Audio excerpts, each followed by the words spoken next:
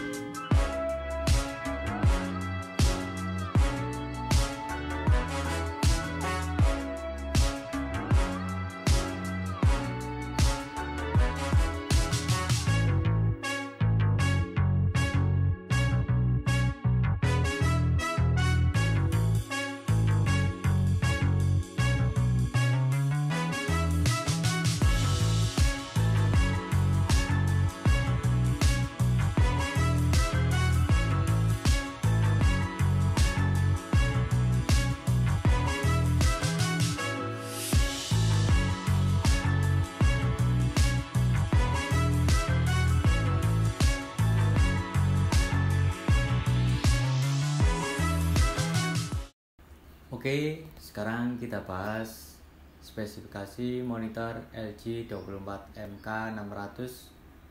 Langsung saja, ini videonya. Oke, sesuai dengan namanya, ukuran monitor ini 24 inci dengan panjang 54 cm dan tinggi 32 cm.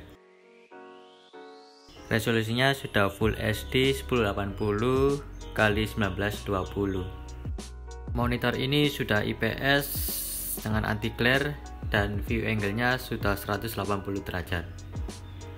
Ini cocok banget untuk editing video yang saya lakukan sekarang ini, editing foto ataupun lainnya.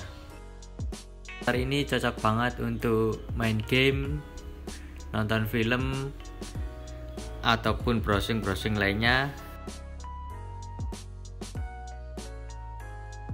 Monitor ini memiliki ketebalan yang sangat tipis jadi sangat cakep sekali. Di belakang monitor ini sudah disediakan visa mounting jadi kalian bisa pasangkan monitor bracket.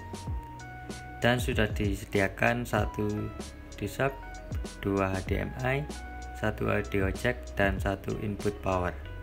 Monitor ini juga sudah anti flickering jadi kalau saya rekam tidak ada garis-garis di monitornya. Kemudian untuk tombol setting menu di monitor ini ada di bagian bawah seperti joystick. Langsung saja kita bisa mengatur brightnessnya arahkan ke kanan ataupun ke kiri. Dan juga ada input bisa atur kita ke input HDMI ataupun VGA bisa juga untuk picture modenya bisa kita atur juga untuk custom reader, foto, cinema, ataupun game. Dan juga untuk pengaturan lainnya bisa kita lihat di sini.